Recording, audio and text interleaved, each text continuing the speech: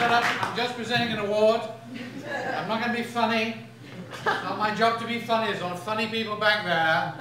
I'm here to present an improv award, and I have a, I have to say, I've always hated improv. Absolutely loathed it. I mean, we never did it in Python. The only time we ever said anything we hadn't written beforehand was when we forgot our words. That was it. So uh, I've, I've never understood how you could stand on stage and talk to people without knowing what the fuck you were going to say next.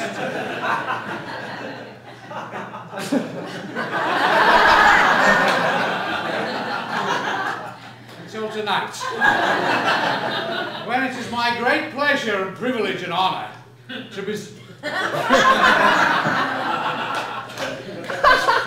to present my secret lover with this award, which is a very special award. It's for improv.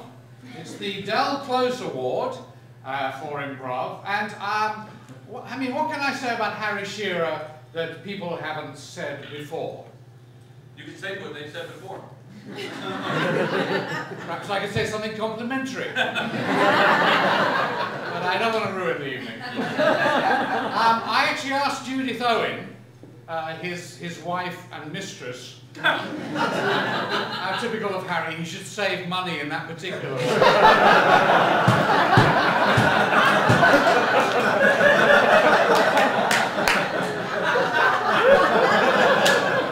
I asked him, I asked her what Harry was like in bed. And she said loud. so I left it right there. So I'm going to be, I didn't ask her any more, so I'm going to be, uh, like Harry, very brief. I'm sorry. oh. I'm going to present this award with my love to our great friend and great friend of comedy, Harry Shearer.